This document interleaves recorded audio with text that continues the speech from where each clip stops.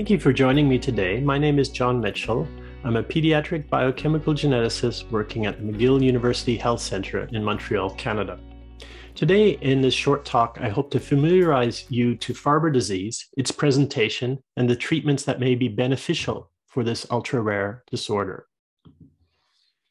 I'd like to start out with a case presentation.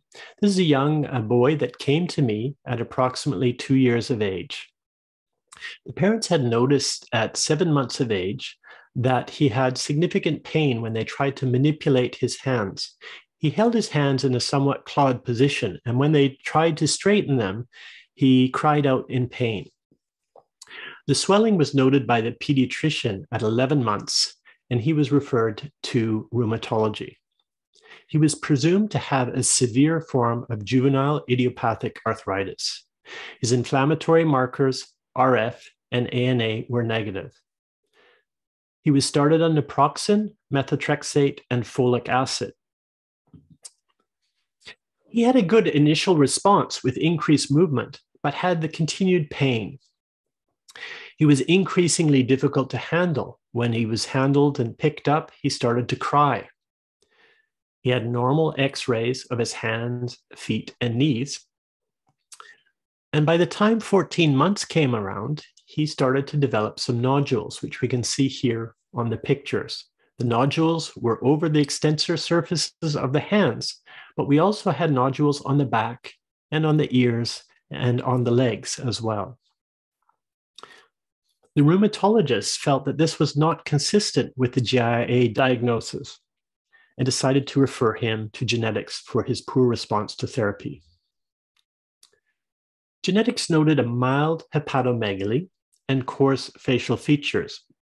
They thought about some of the lysosomal storage diseases and asked for a panel which included the genes involved in lysosomal function. As part of this panel, it was noted that he had a mutation in the ASAH1 gene. This is compatible with acid ceramidase deficiency or Farber disease we can see from the family tree on the right-hand side here that there were also two maternal cousins with similar features who were later found out to have the same mutations and the same disease. So what is Farber disease? Farber is an ultra-rare lysosomal storage disease marked by significant inflammation. We see here that the ASAH1 gene mutation leads to acid ceramidase deficiency and ceramide accumulation the ceramide uh, accumulation leads to significant inflammation, which is macrophage driven, both local and systemic. The classical triad for Farber disease is polyarticular arthritis, subcutaneous nodules, and a hoarse voice. However, these symptoms may not appear altogether, which can lead to a delay in the diagnosis.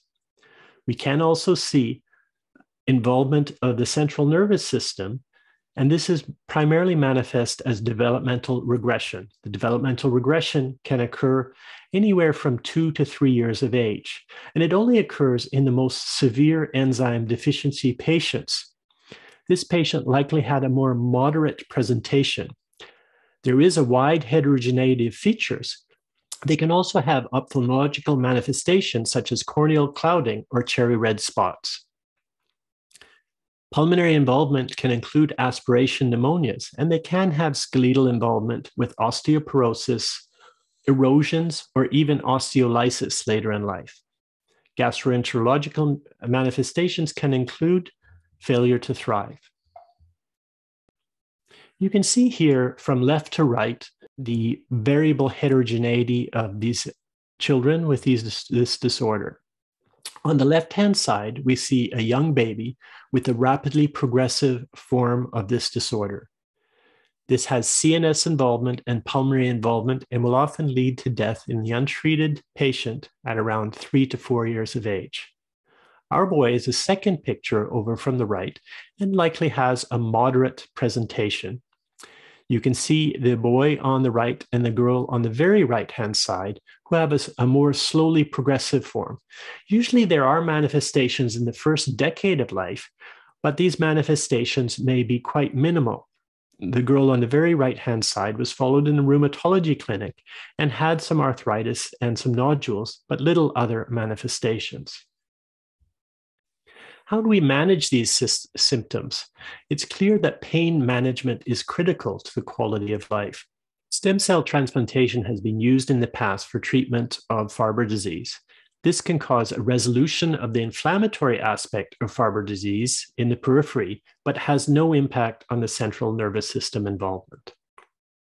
Hematopoietic stem cell transplant is quite a um, aggressive form of treatment. So there are other treatments that we can use, and we've had some success with anti-inflammatory medications. Tocilizumab, which is an interleukin 6 receptor antibody, has been symptomatic therapy used to the greatest effect to date. There's a clear reduction of erythema and induration around the nodules, as well as a significant reduction of pain. We can see this decreased erythema both pre tocilizumab and post tocilizumab. You can see the resolution of the erythema. However, the nodules remain. There's not a lot of experience with tocilizumab in Farber disease. So we talked to a number of colleagues around the world and we found five patients who had received tocilizumab. There was a clinically significant reduction in pain in all of these patients. We had ESR levels in four of the five patients that we studied, and we saw that the ESR was reduced by tocilizumab therapy at both one and six months. There was no change in the progression of the disease. So, if these patients were going to develop neurodegenerative disorders or pulmonary disorders, this did not have an impact. But it did give a lot better quality of life. And, and these babies and young children were much more easily handled by their parents. We have done a natural history study as well, looking at Farber patients. And, and this is a very rare disorder with only 160 cases reported over the last 50 years. However, a recent multinational natural history study revealed 45 patients that were detected in a relatively short period of time. So it's likely that this is more common than previously thought. And what is quite significant about this as well is approximately half of these patients were initially misdiagnosed with juvenile idiopathic arthritis. We can see from the cartoon on the right hand side here that although 30% of the patients were of the severe form, there was approximately 70% of patients who either had a moderate or attenuated form. And these are the patients that are more likely to be misdiagnosed with JIA. So, in conclusion, Farber disease is a rare, progressive, multisystemic lysosomal storage disease that can often present with severe joint pain and inflammation. It's often misdiagnosed as juvenile idiopathic arthritis, but once the diagnosis is confirmed, anti inflammatory therapies should be considered to reduce pain, improve joint function, and improve quality of life. Although treatment with anti inflammatory medication can reduce this pain, it doesn't change the disease progression in the severe form. So it's quite clear that new disease modifying therapies are necessary. So there is a enzyme replacement therapy with aceragen that is in development. This is quite similar to other lysosomal storage diseases where enzyme replacement therapy has had a significant impact on reducing the burden of these disorders. This is a, a treatment that can be given as an intravenous infusion, and the enzyme can clear the accumulated ceramides. The first in human trial is expected to start in 2023. If you have patients that you think may benefit from this trial, you can contact me at the following address.